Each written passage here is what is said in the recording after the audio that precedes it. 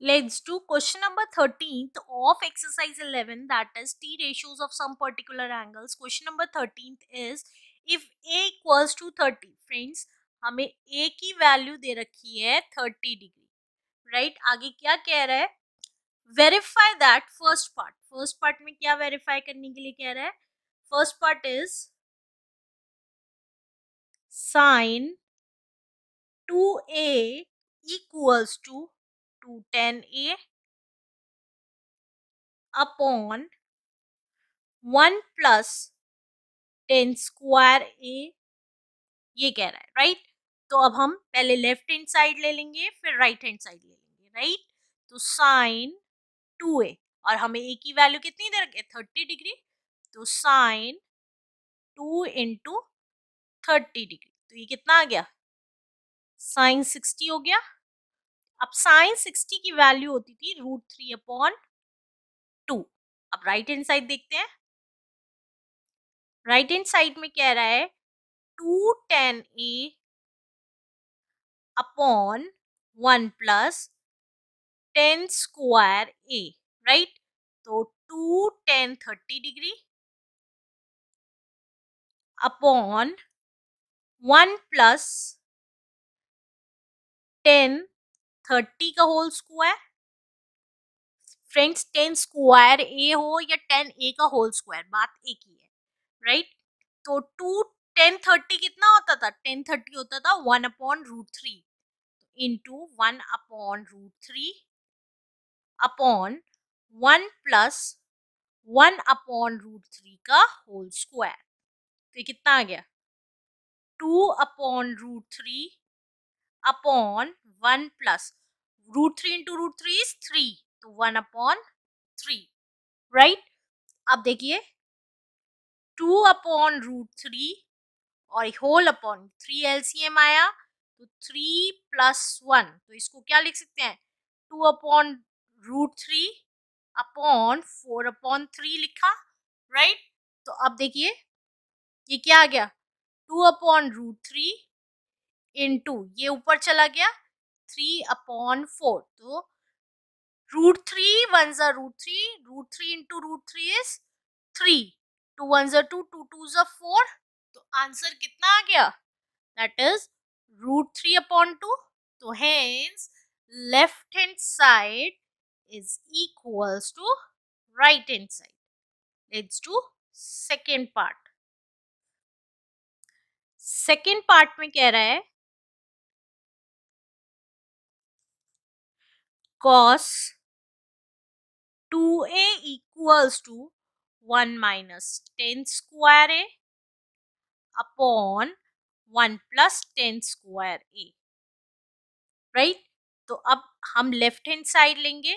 Left hand side में cos two A की value कितनी दे रखी है? थर्टी डिग्री तो ये कितना आ गया? कॉस सिक्सटी डिग्री तो कॉस सिक्सटी डिग्री की वैल्यू कितनी होती थी? One upon two. अब देखिए राइट हैंड साइड की बात करें तो one minus tan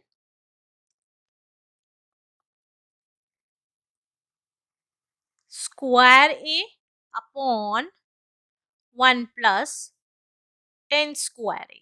तो वन माइनस टेन ए का होल स्क्वायर लिखो या टेन स्क्वायर ए लिखो। बात एक ही है टेन ए का होल स्क्वायर तो one minus tan thirty degree का whole square upon one plus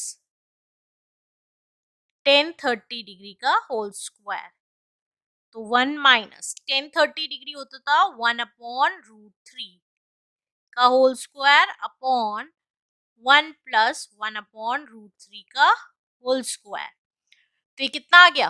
One minus root three into root three is three. One upon three upon one plus one upon three. तो LCM लिया ऊपर वाले का three, इसका, इसको solve कर रही हूँ। तो यहाँ ये वन में थ्री की मल्टीप्लाई हो गई। थ्री वन ज़ा three minus one upon three LCM लिया थ्री प्लस वन। तो ये कितना आ गया? Two upon three upon four upon three. तो इसको क्या लिख सकते हैं? ए अपॉन बी ये ए है, ये बी है, ये सी है, ये डी है इंटू डी अपॉन सी तो थ्री से थ्री कैंसिल हो गया टू वन से टू टू टू जा फोर तो कितना आ गया? वन अपॉन टू यही आ रहा था। तो hence left hand side is equals to right hand side answer let's do third part third part is tan two A equals to 210a upon 1 minus 10 square a. तो left hand side देखते हैं। Tan two ए तो इसको क्या लिख सकते हैं? Tan two into thirty degree तो ये कितना हो गया?